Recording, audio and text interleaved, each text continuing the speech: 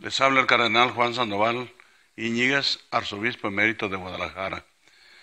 Ante las tribulaciones por las que pasa actualmente en nuestro país y la necesidad que tenemos de un buen gobierno, se me ocurre una sugerencia, que nuestros obispos, todos los obispos de México consagren el país el 13 de mayo, fecha de la primera aparición de la Virgen en Fátima, al corazón de Jesús y al Inmaculado Corazón de María, y que cada obispo haga lo mismo en su propia diócesis, recordando que fue una petición de la Virgen a los pastorcitos de Fátima, recordando que el Papa Juan Pablo II, en 1984, en marzo de 1984, consagró Rusia al corazón de Jesús y al Inmaculado Corazón de María, como lo pedía la Virgen en Fátima.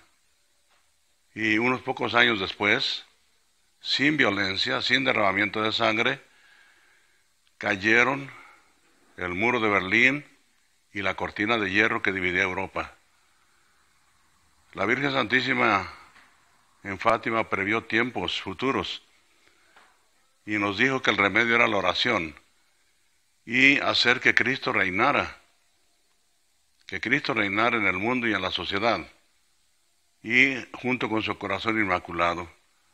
Por eso me parece que esta sugerencia es pertinente. Ojalá que nuestros obispos la pudieran considerar detenidamente, porque en este tiempo de tribulaciones hace falta la voz de los obispos que orienten a nuestro pueblo. Son los líderes religiosos de México y la gente.